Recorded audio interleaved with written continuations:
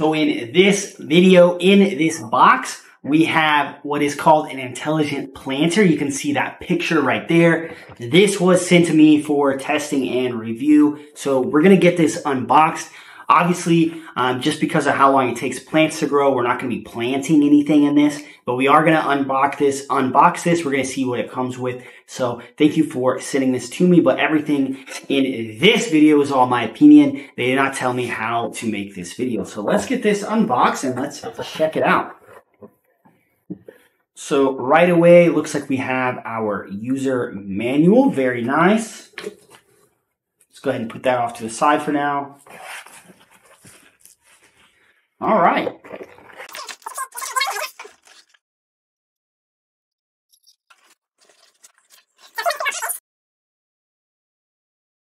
Very nice looking.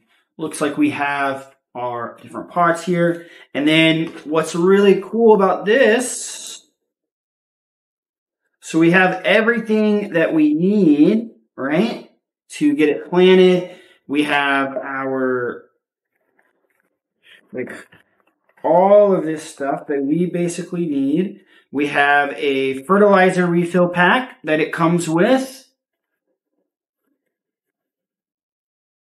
Looks like we have our like little dirt cones that is going to go inside all of this.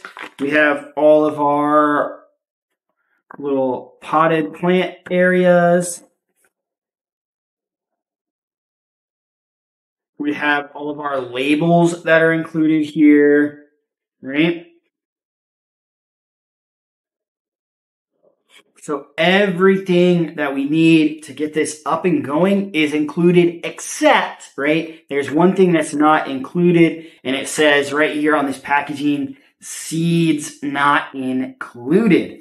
But we can kind of get this set up and see what it looks like. So let's put all these off to the side. All right, so this is what this Growell uh, hydroponic kind of system looks like when it's set up. I don't know if I really like where I have it set, but for now, this is where it's going to go.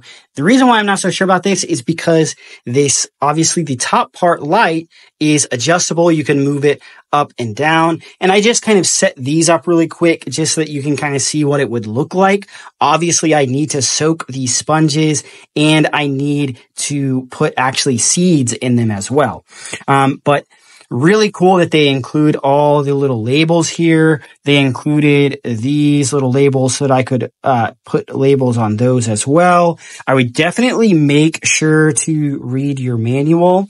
And then they do include all of the plant food and stuff as well. And they include all these little covers like this, but let's go ahead and take this off so that you guys can see what the inside looks like. So I went ahead and put a little bit of water in here, but you are supposed to fill this up to seven liters. And then really quick, uh, I wanted to let everyone know this. So mine apparently came with the child lock already on. Basically what that means is none of these buttons will work. So if you have kids, you can turn the child lock on and then none of your buttons will work and you're going to freak out and you're going to think that nothing works here. I don't know if this is going to show up on camera, but if you see this little lock right here, it is, should be on the camera.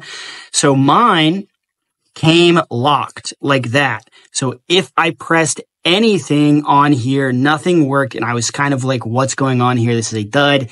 So basically you hold both of these down and you can see it unlocks. We can see it locks again. You want it unlocked. So we do have the pump right on in there. You can see that it's working. We can have, we can turn the fans on and off, right? So now the fans aren't on and they'll speed up, etc.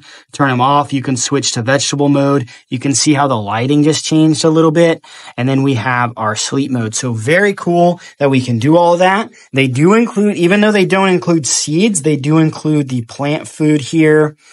Uh, and then they include a bunch of other stuff.